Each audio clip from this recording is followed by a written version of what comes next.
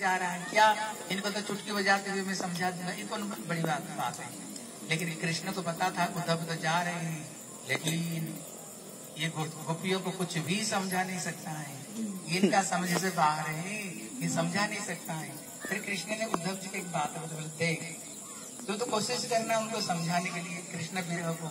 लेकिन जब किसी तरह से समझा नहीं पाओगे एक काम कर लेना तुम उनको बोलना आँख बंद करके बैठ जाओ जब वो आँख बंद करके बैठ जाएँगे, मैं स्वयं वहाँ पर प्रकट होगा प्रकट होकर के उनको साथ में जल विहार करूँगा, उनको साथ में निकुंज में लीला करूँगा, उनको साथ में मैं रास लीला करूँगा, कुंज में जाऊँगा, उनको साथ में नौका विलास करूँगा, झूला में झूला झूलाऊँगा।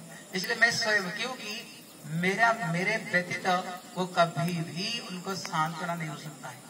इसलिए उद्धव जब यहाँ पर आए, किसी तरह से उनको समझा नहीं पाए, किसी तरह से उनका विरोध दूर नहीं हुआ।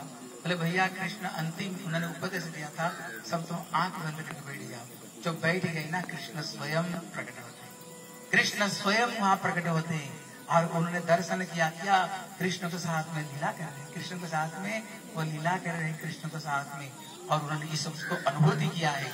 इसलिए ये स्थान, वही स्थान है जहाँ पर उन्होंने ये सारे चीज़ को दर्शन की और लास्ट में उन्होंने पाँच श्लोक के द्वारा ब्रज गोपियों की ब्रजवासियों की महिमा को उन्होंने गाई। बोले, भैया, जो प्रेम को पाने के लिए मैं स्वयं स्वयं शंकर जी, जो प्रेम के पाने के लिए तरसते हैं, ये गाँव में रहने वाली ग्वालिना गिलिया, कंडा बिलने वाली दधि मंथन करने वाली है, जो पवित्र, जिनको है नहीं, अपवित्र रहने वाली।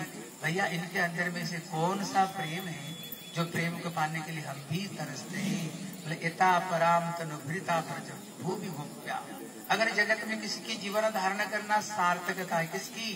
बोले यही बोले, क्यों? बोले, परमात्मा ने रूढ़ भाव, कृष्ण के प्रति इनकी जो भावना है, इतने रूढ़ भावना, इतने साई साई भाव है अगर जगत में कोई शरीर धारण करना सार्थक था तो इन्हीं लोगों का